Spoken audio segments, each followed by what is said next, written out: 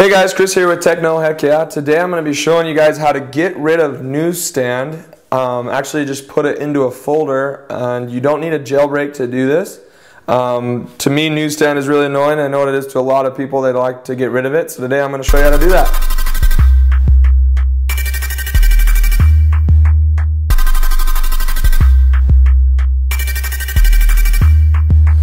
So the first thing that you're going to need to do is to go to the, this website. I'll put a link in the description um, and download this program. It's called Stifle Stand.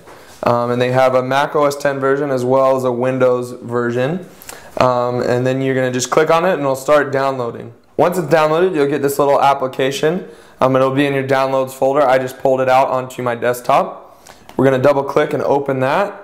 And as you can see, it opens this window right here. Um, and what it says is connect your device and press hide newsstand to put the newsstand icon inside the folder. So we're gonna plug in the my iPhone 5 to the USB plugged into my computer. There we go. And then we're going to click on this and it says hide newsstand. And it's done already. So as you can see we got this new folder that says magic. If we click on that the newsstand is in that um, and you can take and you can put other apps inside of that folder. Um, and then you can also rename it to whatever you want it to be. Hey. So there we go. That's stifle stand.